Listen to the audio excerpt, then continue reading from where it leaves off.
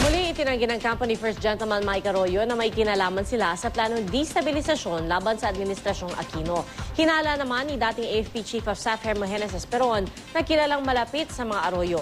Sadyang pinalulutang ang umano'y destabilization plot para malihis ang atensyon ng publiko. Balita natin ni Marisol Abduraman, exclusive.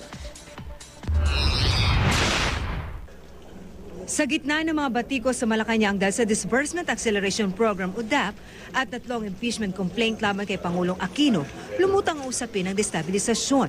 Ayon kay Senador Antonio Trillanes IV, mga retiradong general na malapit kay dating Pangulong Gloria Arroyo ang umulina sa likod nito.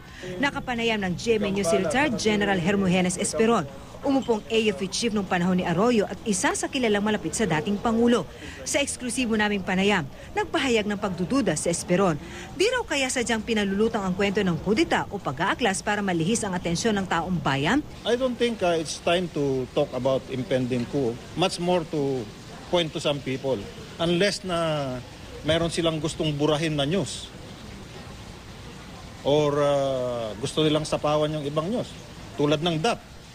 Ano kaya, suggestion ko, ipaliwalag na lang niya kung saan niya ginamit yung nakuha niya sa DAP. Baka maniwala pa ako sa kanya. He is like a boy who cried wolf. Bukas papatayin niya yung wolf.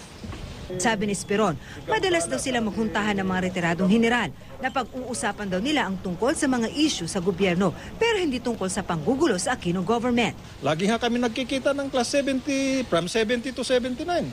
Even classes beyond that. Bakit hindi? Ah, so you're part of that talk but you're not talking about who? Ang coup?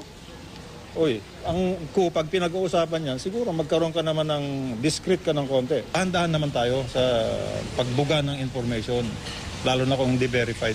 Pero pinaninindigan ni Trillanes ang impormasyong nakuhang, meron daw nagre-recruit sa hani ng mga sundalo para sa nilulutong destabilisasyon. Simulang ano, uh, first year pa lang, second year ng uh, administration, okay, no administration, they've been trying na naghihikayat sa mga active members ng AFP.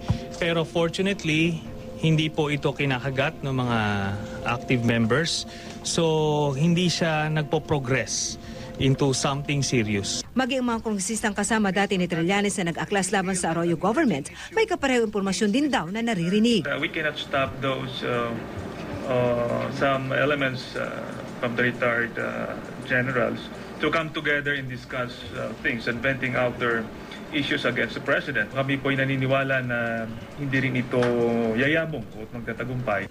Pero giit ng AFP, kumpiyansa daw ang pamuno ng militar sa mga sundalo. No need for loyalty check. We're confident in our soldiers. Sa gitna ng mga alingasngas na ito, agaw pansin ang military convoy na ito na may escort pang armored personnel carrier na naipit sa traffic sa EDSA. Mabilis na paglilinaw ng AFP, naghahati lang daw ng supply ang military convoy at walang kinalaman sa anumang ugong ng destabilisasyon. Sabi nga ni AFP Chief of Staff Lieutenant General Gregorio Katapang, wala silang intelligence report na may pinaplanong kudeta. taas po yung moral ng mga sundalo natin kasi lalo na nga po na-highlight nung sa SONA yung ating mahal na Pangulo na pinakita yung mga naitulong niya na sa Armed Forces of the Philippines. Ayon naman kay First Gentleman Mike Arroyo, ngayon lang daw niya narinig ang umano'y binabalak na pagkilos ng mga retiradong general. Pero itinagi niyang may kinalaman sila rito. Pumano na rin daw ang ibang mga general na malapit sa mga Arroyo. May mensahe naman ang mga abogado ng mga Arroyo kay Trillanes. Payo ko kay Senator Trillanes, huwag kung ano-anong uh, hititin niya para hindi kung ano-anong nai-imagine niya. Kasi Wala pang tugon si Trillanes sa pahayag na ito ni Topacio. Marisol Abduraman, GMA News,